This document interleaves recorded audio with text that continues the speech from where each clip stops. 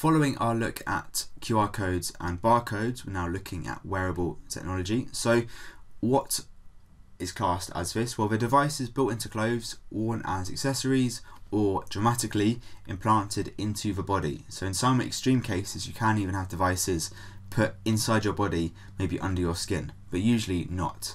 So, what makes them technology really is they are smart. I've done smart in quotes because it doesn't mean intelligent, it means they've got a processor, so a processor which can process some data, and also they can make use, can utilize a network connection. So, for example, this fancy Seiko watch is a nice watch, it's an accessory, but it's not a smart it's not a wearable technology because it's got no processor because it's got no network connection. However, an Apple Watch is also an accessory, but it is classed as a wearable technology because it's got a processor inside it and also can connect to a network like your phone, also to a mobile network as well. So a normal watch is not a wearable technology, a smartwatch is.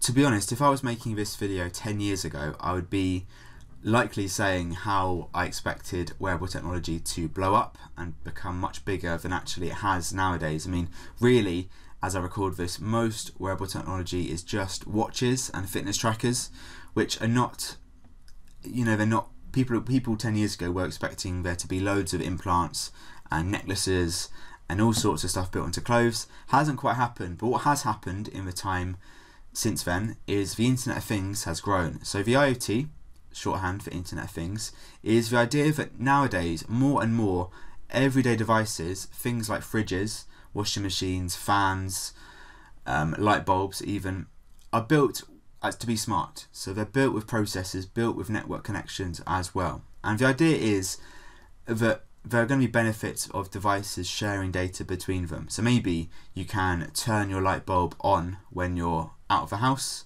I don't know why you would but you can access stuff remotely. And wearable technology could be considered part of this because it can share data. Maybe on your watch, you can um, turn your heating on from anywhere. That would be useful. But at the moment, wearable technology is mostly limited to things like smart watches. So that's related, right? So currently mostly used for health and fitness and also entertainment and leisure. So Apple watches can be used to, you know, um, reply to messages or answer phone calls and so on. That would be entertainment and leisure mostly. So smartwatches, as I say, are kind of a dominating example of wearable technology and via sensors they have, they have different sensors built in.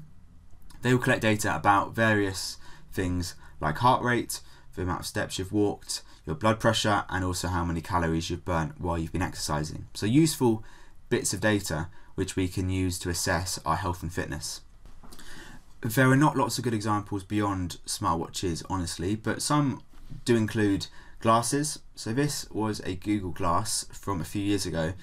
It kind of launched and didn't really take off because the idea was it's a pair of glasses like normal, but there is a processor built in. There is sort of a little screen here which can show stuff. There's a camera as well.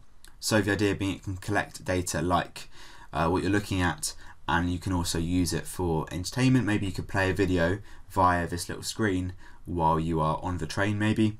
It never quite took off, but that is an option which may come back. A slightly more dramatic option is this, which is described as a tattoo.